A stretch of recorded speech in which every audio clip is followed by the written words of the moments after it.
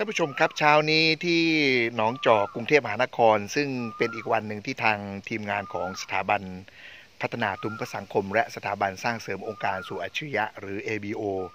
มารังสรรค์ระดมความคิดร่วมกันโดยการขับเคลื่อนปัจจัยที่จะเป็นประโยชน์สูงสุดในช่วงไตรมาสที่ 1 ของปี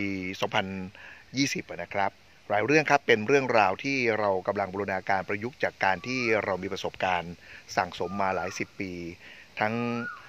กลุ่มของฐานลูกค้า ซึ่งเป็นภาคเอกชนมีปัจจัยหลายเรื่อง ตั้งแต่ที่ผ่านมามกรา มีเรื่องของโครงสร้างค่าจ้างเงินเดือน มีเรื่องของการพิจารณาการปรับการประเมินผลตลอดจนเรื่องการพิจารณาโบนัส หรือผลตอบแทนอื่น ๆ ปัจจัยเหล่านี้เนี่ยนะครับทำให้ก่อเกิดปัญหาด้านแรงงานสัมพันธ์ในภาคอุตสาหกรรม ค่อนข้างจะมากมายพอสมควร ตอนนี้ครับเศรษฐกิจของไทยเรากำลังมีผลกระทบอยู่ในระดับซึ่งน่าติดตาม โดยที่ มาจากผลของเศรษฐกิจของโลกนะครับ ไม่ว่าจะเป็นเรื่อง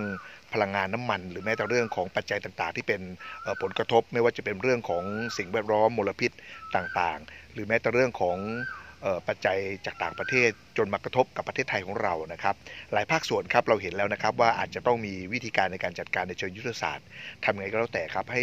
อยู่รอดปลอดภัย และสร้างความยั่งมั่นคงมั่งคงยั่งยืน ให้โอกาสของแต่ละแห่งนั้นเนี่ยมีการเสริมสร้างสมรรถนะให้เกิด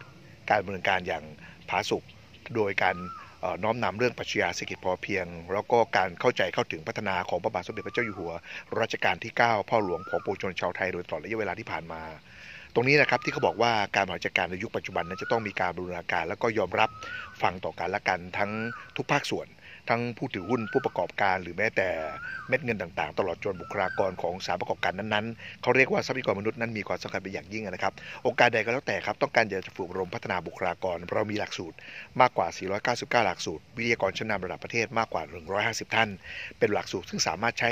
แล้วนำไปประยุกต์ใช้กับองค์การทุกภาคส่วนทุกแห่งได้เลยนะครับสิ่งเหล่านี้ครับเขาบอกว่าประยุกต์จริงทำจริง แล้วก็รู้จริง ยังมีเรื่องของการจัดกการเรื่องที่ปรึกษาในเชิงระบบการบริหารงานสิบกว่มนุษย์เพื่อให้โอกาสของท่านนั้นมีผลกำไร